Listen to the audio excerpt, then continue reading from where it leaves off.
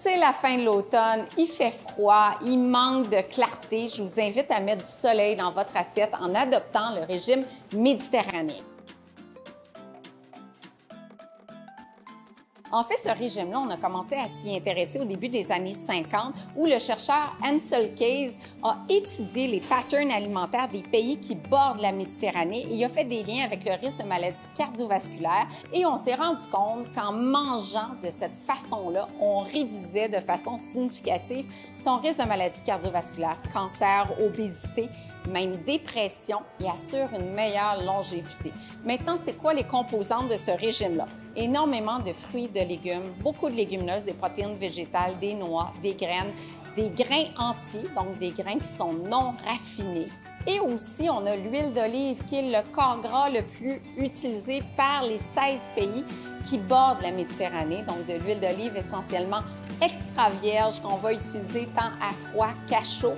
On a une abondance d'huile d'olive. Je pense à la Grèce notamment, 23 litres par habitant par année versus environ 1 litre au Canada en termes de consommation d'huile d'olive.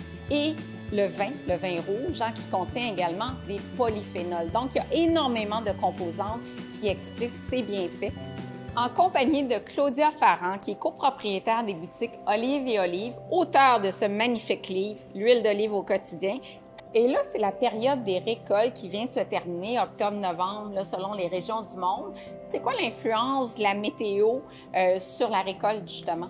La météo a la même influence sur le produit final qui est l'huile d'olive extra vierge qu'on retrouve avec le vin ou avec le sirop d'érable. Donc, s'il y a trop de pluie, s'il y a trop de, de, sécheresse, tout ça va avoir une influence. Euh, le sol aussi va donner euh, à l'olivier euh, des nutriments qu'on va retrouver euh, dans le fruit final. Et puis, millésime 2021, c'est un bon millésime pour l'huile d'olive?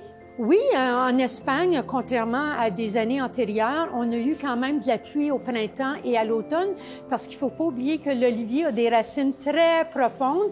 Il a besoin donc de l'eau au printemps, l'automne, mais il peut passer un long été euh, sans connaître euh, trop de, de, pluie et puis ça va être bon cette année. Comment tu définis les critères de sélection pour une bonne huile d'olive? Bien, je vais commencer par vous donner les trois attributs positifs dans l'huile d'olive.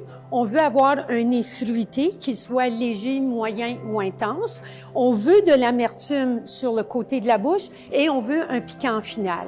Et nous, chez Olive et Olive, on a toujours travaillé directement avec les producteurs d'huile d'olive et elles ont toutes une date de consommation et il y a vraiment un contrôle de qualité avec tout ce qu'ils font. Bien, merci beaucoup, Claudia, pour ton temps. Merci, Isabelle. Le régime méditerranéen, c'est Partager un repas en famille avec des amis, c'est prendre le temps de savourer des aliments qui sont non transformés.